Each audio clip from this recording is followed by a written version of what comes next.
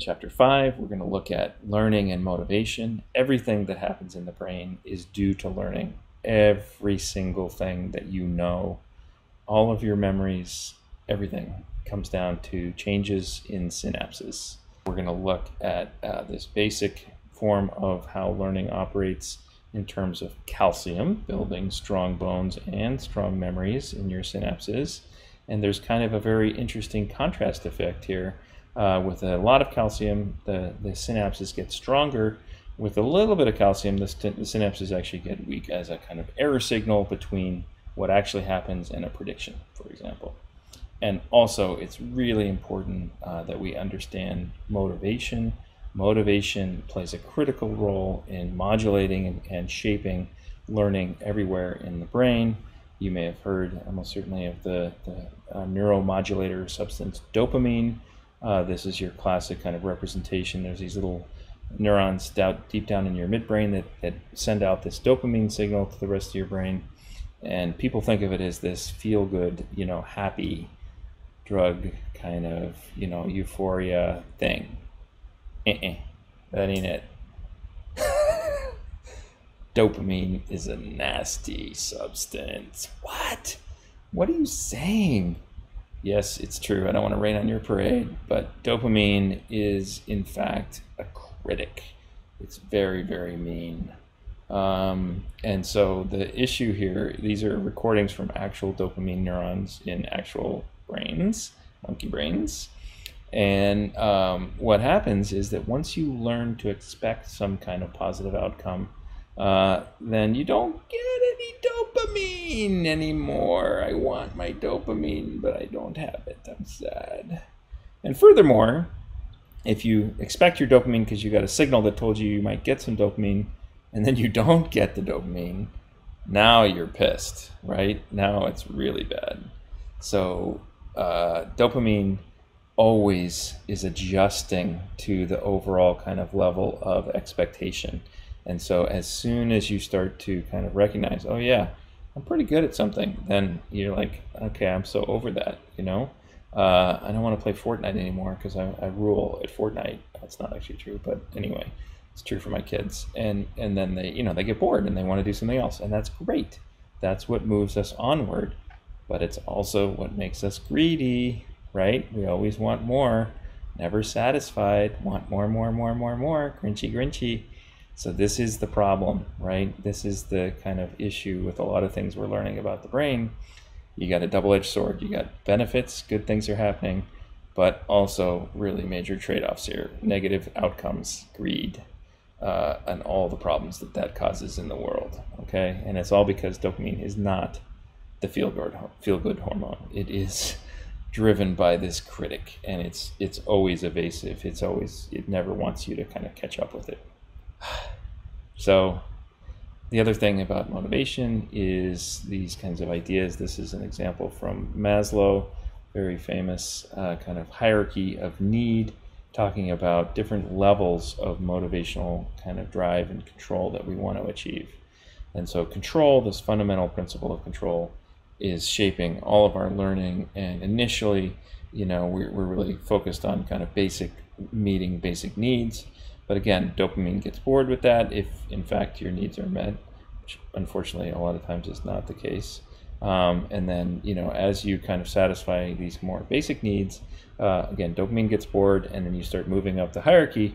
And then, you know, if you're lucky enough to live in uh, a situation where you have your basic needs met, um, you can achieve some higher level of you know daydreaming about moral principles and stuff like that uh, in this kind of highest level of the pyramid.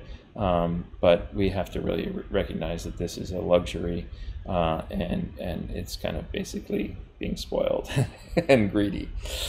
But uh, yet on the other hand you know it's great that people can do that and think about big picture issues um, again double-edged sword everywhere in chapter six, we're going to look at the outcome of learning, which of course is memory. Memories are the results of all the things we've learned.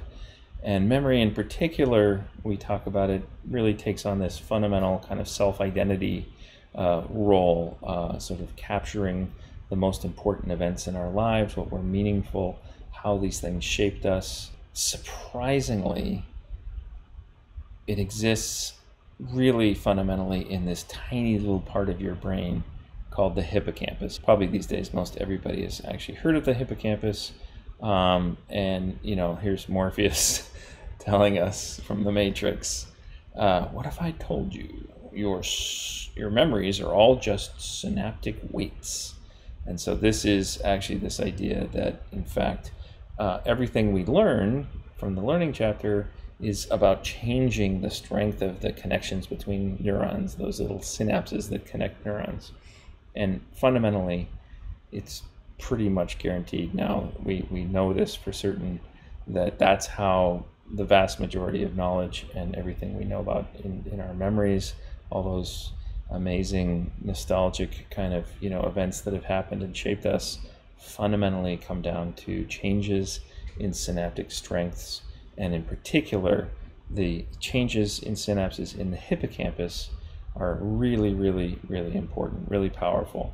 And we know from this case of the patient HM who had his hippocampus removed, he wasn't able to form those kind of new memories.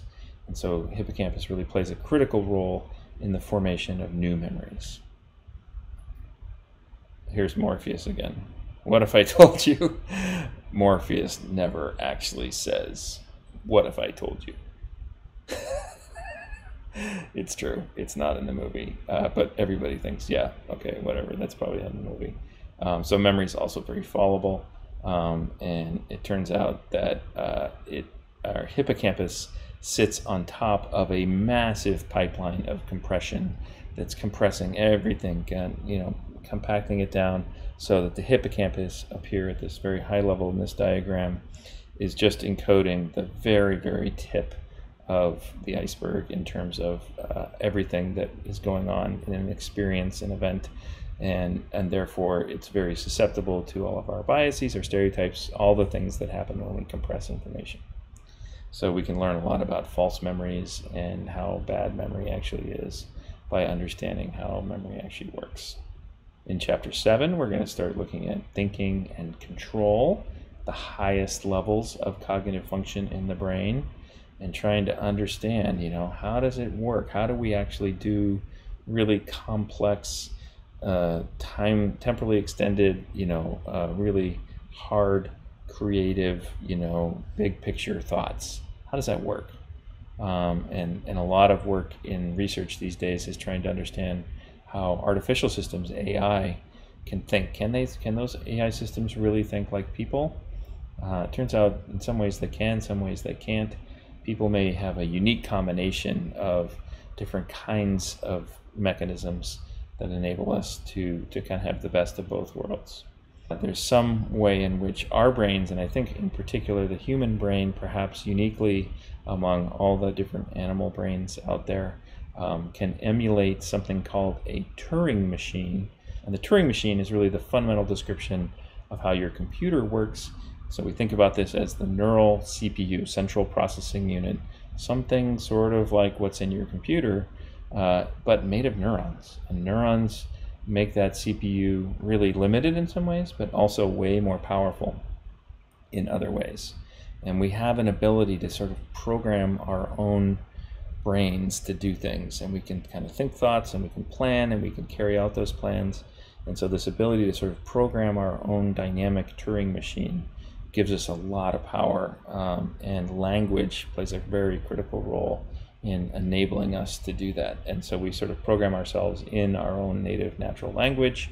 Uh, just amazing kind of uh, things that we can do, again, that really haven't been shown in any other animal. And, and we think we have a pretty good understanding of where this stuff is coming from. And it's really the frontal cortex, again, this control area, that plays a really critical role in allowing this to happen through uh, working memory and this ability to hold on to information over time and keep us on task and keep updating as we go through. Again, we come back to this critical role for motivation again and again. Motivation drives learning. Learning drives the ability and the shaping of these neural circuits, um, and and it really determines kind of what we uh, choose to engage in. It's kind of a tautology. We'll have to unpack that um, but you know, there's a lot of important uh, things to be learned about. These, these quotes capture some essential points about motivation that it's hard to impose motivation on other people. Um, and, and what I'm trying to do here in this class is light a fire, show you how interesting and fascinating the brain is, um, and trying to inspire you to get motivated to learn more about this as opposed to filling you with a bunch of different facts that you don't really care about. I really want you to, to think this stuff is exciting because I think it's exciting. Um, and so, yeah, this intrinsic motivation may be a lot of individual differences in how people's intelligence turns out in terms of overall measures that we have. This is a kind of diagram of the uh, overall intelligence test that's very commonly used. Um, maybe a lot of that variance, a lot of the differences between people could be due to differences in these motivational systems. And maybe that gives us more of a clue as to how to improve educational outcomes and, and lift everybody up uh, and get uh, everybody uh, doing the best of their own potential. And I firmly believe, personally, you know, outside of all of science and everything, uh, but informed by these things, that everybody has the potential to do everything, anything that they want to do. I've repeatedly had the experience where I have not understood stuff for a long time, and then I stuck with it and I understood it. Um, and they, a lot of stuff has these weird names associated with it, and you think there's no way I'm going to understand this kind of weird thing, a Lyapunov function. What the hell's that? That's really complicated. And it turns out it's just something really simple. Okay, so you just have to stick with it until you fully uh, understand something. And I really do believe anybody can do anything.